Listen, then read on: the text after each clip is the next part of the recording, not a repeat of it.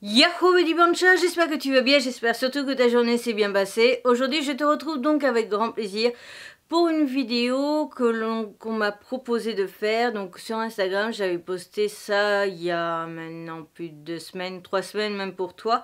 Euh, un sondage pour vous demander en fait qu'est-ce que vous aviez envie de voir comme vidéo pour les vacances, pendant la période de vacances. Parce que je voulais un petit peu sortir des présentations de manga et que je n'avais pas trop d'idées. Donc une de mes abonnées, je crois que c'est Inou d'ailleurs, euh, m'avait proposé donc de vous faire une vidéo sur les 5 moments qui ont marqué mon année et j'ai envie de faire donc une version manga et une version sûrement que je ferai sur EB World euh, autre que manga.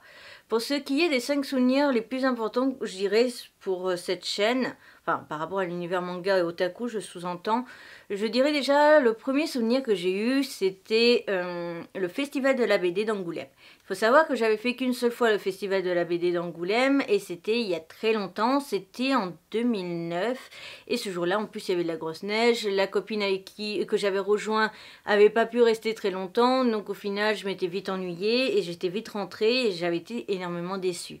Et à l'époque, le manga n'était pas très présent au niveau justement du festival de la BD. C'était vraiment des tout petits trucs. Maintenant, il y a carrément un, un coin complètement dédié, c'est vraiment présent. Et euh, j'ai retrouvé donc une abonnée que je connais depuis déjà un petit moment du nom de Sandy.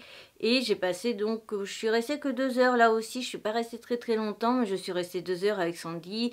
J'ai pas vu le temps passer et j'ai découvert que vraiment Sandy était quelqu'un que j'appréciais tout particulièrement.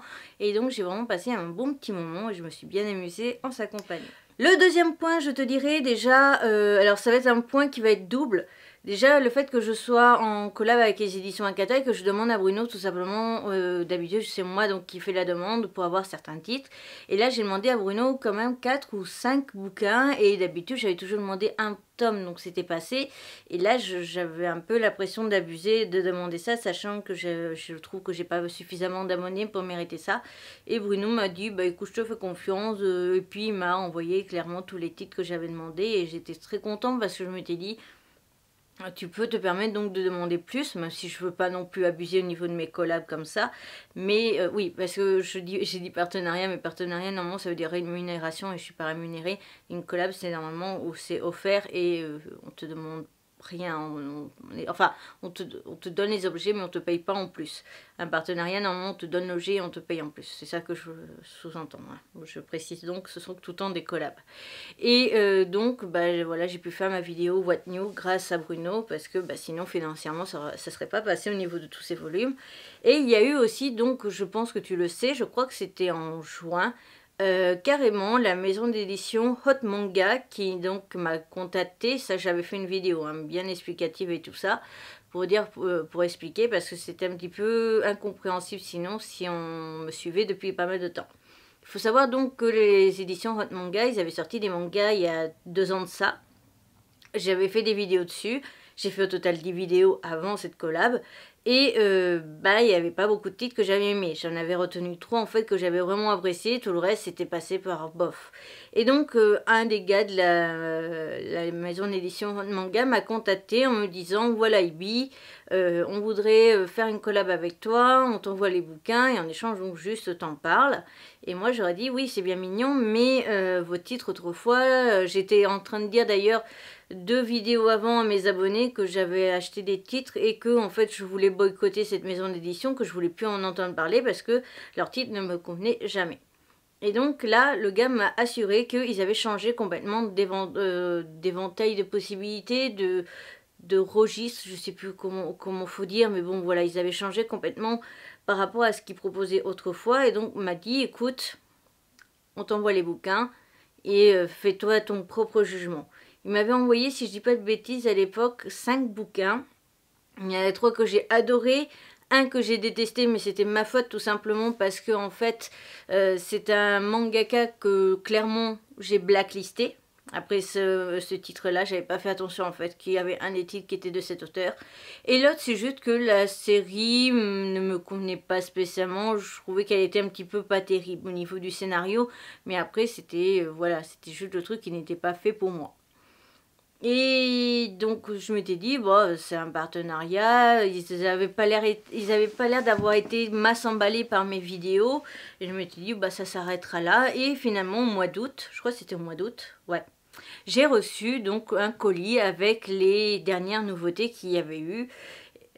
Août ou juillet je sais plus. enfin bon, j'avais reçu un deuxième colis donc avec les derniers titres et j'étais donc sur le cul forcément de voir qu'on m'avait fait confiance, que finalement mes vidéos n'étaient pas si nulles que ça parce que finalement eh ben, on m'a quand même renvoyé d'autres titres. Là je sais aussi que je vais avoir donc les prochaines nouveautés qui sont pour janvier. Euh, même s'il faudrait que je vois avec ceux de la communauté de la chaîne Ibi Otaku Hentai parce que j'avais demandé donc à avoir des retours par rapport à mes vidéos et euh, la personne donc qui gère euh, pour Manga la communication m'avait dit qu'il y avait un petit truc qu'il fallait que j'arrange et je voudrais voir avec vous si vous vous êtes ok vous êtes d'accord avec sa avec son message à lui. Voilà parce que moi je ne sais pas euh, du tout comment me positionner parce que forcément présenter du hentai c'est tout nouveau pour moi surtout comme ça et euh, quand attend, quand il y a une maison d'édition par derrière qui attend aussi ton contenu, tu essayes vraiment de voir aussi ce qui leur plaît ou pas, la façon de faire, etc. Et mm, personnellement, m'adapter aussi un petit peu à ce que leur demande. Voilà, je trouve ça normal aussi, vu qu'ils m'envoient des mangas gratuitement, qui ça a un prix. Euh, je trouve ça normal de m'adapter aussi un petit peu à ce qu'ils veulent. Et je trouve que on peut pas forcément présenter un hentai de la même façon qu'on peut présenter par exemple un shoujo ou un josei ou un seinen, etc. Voilà. Euh, le troisième point fort, je dirais ma rencontre avec Cuties. Donc Cuties manga, je pense que c'est bon, je vais pas euh, te rabâcher qui c'est, parce que je pense que tu vois très bien qui est Cuties manga, j'en parle assez régulièrement sur ma chaîne. Euh, donc au départ, c'était juste une abonnée, je suis vite fait ses vidéos, mais pas des masses parce que j'ai pas le temps. Clairement, je regarde pas beaucoup de vidéos ces derniers temps parce que je n'ai plus le temps. Et euh, on a discuté vite fait, puis j'ai vu dans une de ses stories qu'elle comptait faire une vidéo qui était assez ressemblante à une mois que j'avais en projet depuis, depuis été 2016 et que je m'étais vraiment lancée à l'idée de la faire et de lancer le projet très rapidement euh, en mois de juillet, août. Donc du coup, je l'ai contacté en lui disant, écoute, faisons la vidéo ensemble, comme ça, bah, au moins, ça évitera aussi que tu te fasses insulter parce que tu m'aurais éventuellement copié.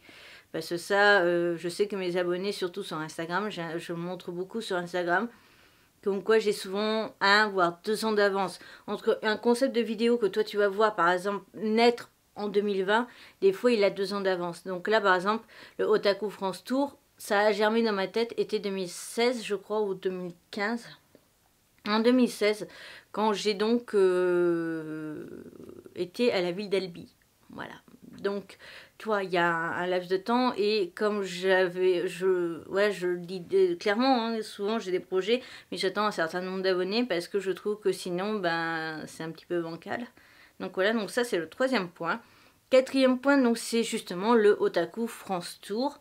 Parce que, bon, encore sur Bordeaux, je connais pas mal les boutiques, etc. Euh, mais ce que j'ai aimé, c'était justement d'avoir après le retour, parce que il faut savoir que à peu près un, 15 euh, jours après que la vidéo Otaku Bordeaux Tour soit sortie, je suis retournée dans la boutique donc euh, BD Avenue. Et j'étais avec ma maman et donc j'ai demandé, j'ai pas, pas demandé parce qu'il y avait ma maman, mais j'en ai profité de voir la patronne en lui demandant du coup euh, et vous faites la vidéo du coup vous en avez pensé quoi? Et la réaction très positive de la patronne m'a motivée et donc j'ai donc lancé le projet à aller sur Nantes et c'est vrai que le retour des vendeurs par rapport à ce projet, le retour d'une vendeuse en particulier à Otaku Nodera avec qui j'ai beaucoup discuté, beaucoup sympathisé, euh, m'a boosté aussi dans cette idée de le faire. Et euh, même sur Paris, alors je sais, j'ai du retard par rapport à cette vidéo sur Paris, mais il faut, que je me cale. En fait, là, le jour où je filme, on est vendredi 20 euh, décembre et je vais me caler lundi pour faire le montage parce qu'il faut vraiment que je fasse tout d'une traite, c'est plus simple pour moi. donc le, à Paris, pareil, j'ai vu la réaction des vendeurs, etc. par rapport à ce projet qui était vraiment emballé. Ça allait en plus les aider. Euh, donc j'ai trouvé ça génial de pouvoir en même temps lier l'utile à l'agréable, aider et les abonnés par rapport à, au fait de trouver des boutiques et aider les boutiques à se faire une visibilité. Même si je suis pas un grand youtubeur, mais ces vidéos-là, j'espère qu'elles seront un peu plus vues que les autres vidéos, par exemple comme mes présentations ou autres. Donc voilà en ce qui concerne ça. Donc ça c'est le quatrième point et donc euh, le cinquième point c'est forcément ma convention de Toulouse. Même si au tout début de la journée elle a très très mal commencé parce que si tu as vu la vidéo je me suis perdue plusieurs fois, plein de fois même. Et euh, mais quand au moment où j'ai rejoint Inou et sa sœur, je sais pas si en fait à chaque fois je dis sa sœur parce que je sais jamais si j'ai droit d'évoquer son vrai nom euh, sur YouTube ou pas donc c'est pour ça. Mais euh, bah là j'ai retrouvé deux amis parce que je les avais vus donc en avril, pas cette année mais l'année d'avant.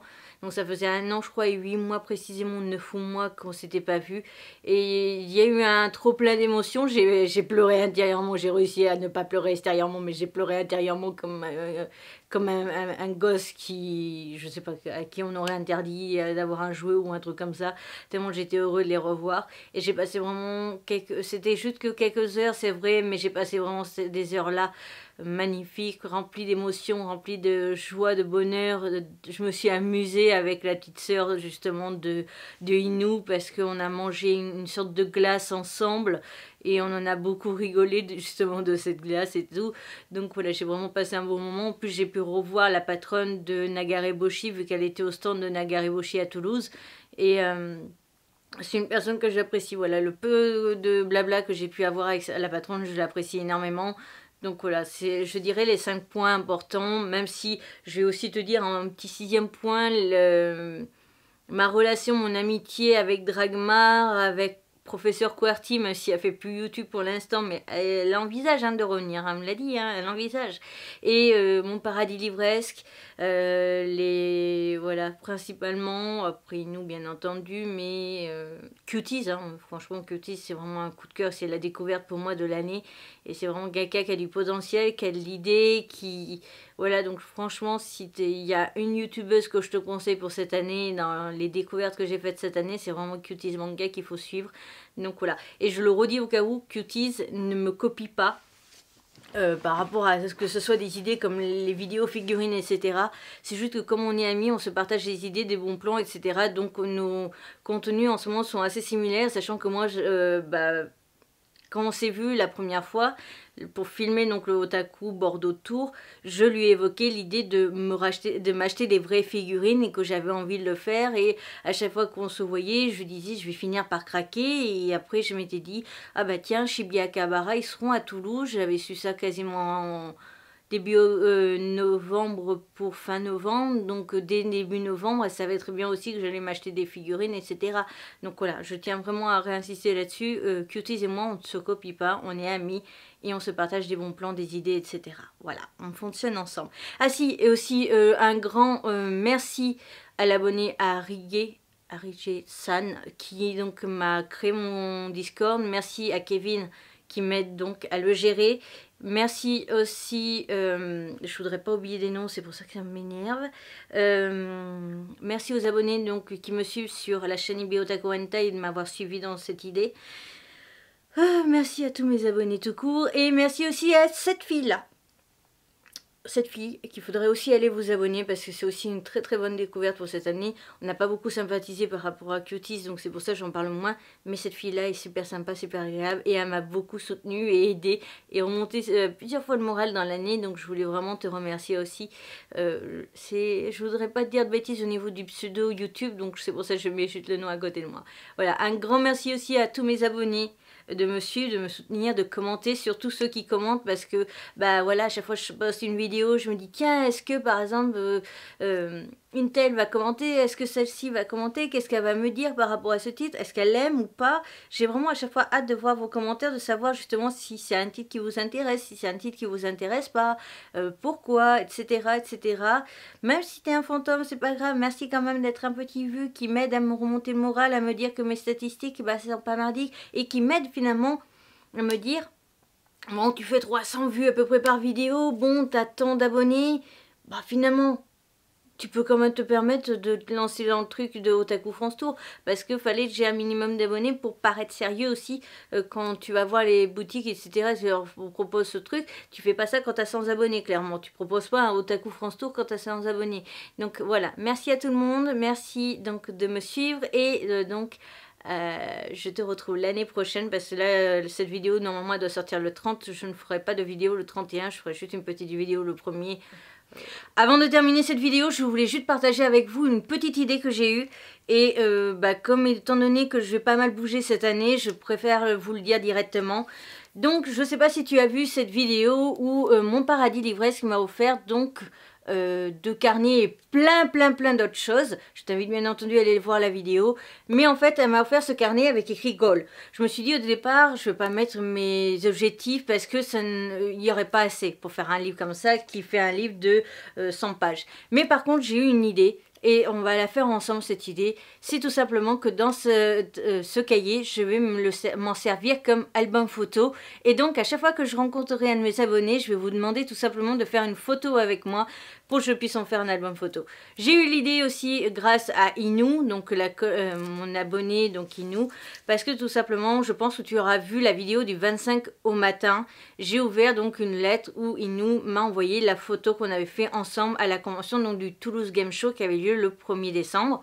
Et quand j'ai eu cette photo, je me suis dit, il me faut un album photo avec vous euh, dedans. Et donc, à partir de maintenant, je vais faire à chaque fois une photo dès que je vous vois, dès qu'on est ensemble, dès que je croise un de mes abonnés ou un collègue youtubeur. On fera donc des photos ensemble et on va remplir ces 100 pages. Donc il y a du boulot et je compte sur... Voilà, hein, je te retrouve donc l'année prochaine. Je, je ne te dis pas les vœux parce que ça, on ne dit pas avant le 1er janvier. Sur ce, Bye Et n'oublie pas de sourire quoi qu'il arrive.